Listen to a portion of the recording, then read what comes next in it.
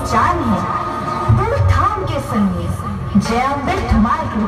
अब आपके शहर में अपना परफॉर्मेंस देने जा रहे हैं। तो दोस्तों